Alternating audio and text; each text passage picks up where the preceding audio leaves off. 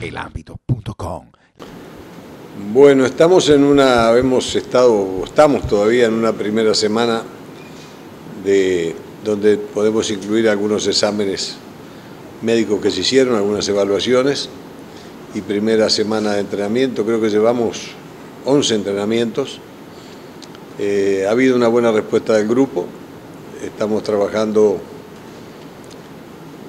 en los temas de fuerza específica del fútbol, con mucho juego en espacios de diferentes medidas, eh, con mucho juego colectivo, con mucha circulación de pelota, jugando con rapidez y, va mejorando la respuesta de los, de los futbolistas y estamos conformes como vamos.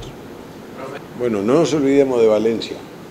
No nos olvidemos de Valencia porque nosotros somos muy dados a...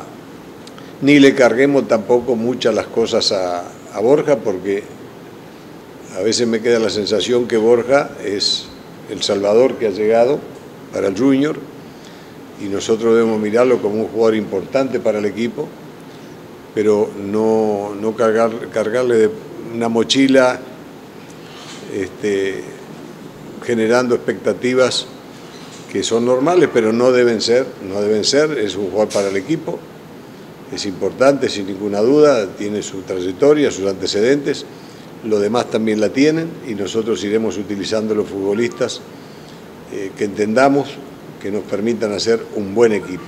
Vamos por lo de Piedraíta. Marlon, eh, una rara coincidencia, ¿verdad? Pero las cosas son así. Lo mismo que le pasó el acondicionamiento que del torneo pasado, al principio. En, los gemelos no tengo claro, hay que preguntarle al médico, no voy a ponerme a hablar cosas que no son, pero creo que la lesión este, puede sacarlo del trabajo.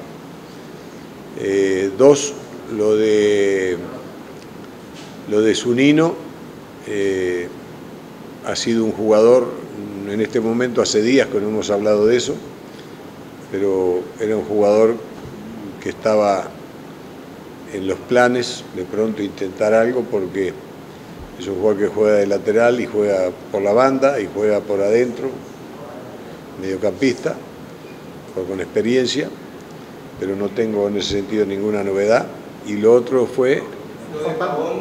Lo de Pavón sí, sí, nosotros estamos tratando de que no ocurran las cosas que han ocurrido siempre en el, en el Junior y darle una mirada al pasado este, con varios arqueros, que creo que el único que logró tener continuidad y dar una gran respuesta fue José María Paso.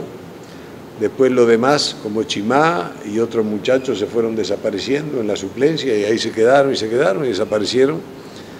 Y no queremos que ocurra lo mismo con Pavón y creemos que Fontalvo tampoco nos ocupa lugar en la inscripción, este, porque es un sub-20. Y, el lunes creo que ya, si Dios quiere, estará con nosotros. Eh, Acosta irá al Barranquilla para tener partidos allí, en la medida que Roberto entienda cuándo tiene que jugar, o si siempre, o si algunos partidos. Y estamos buscando de que, de que Sergio tenga la posibilidad en algún equipo de atajar, porque si asciende, tiene creo que 23 años, entonces después 24, 25, vamos, tenemos, tiene 27, 28 años y no juega nunca.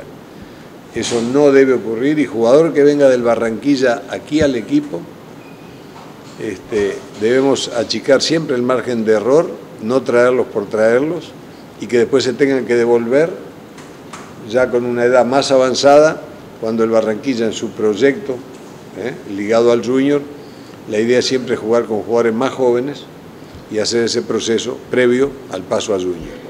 Sí, vamos a jugar, creo que el 15 y 18, ¿no?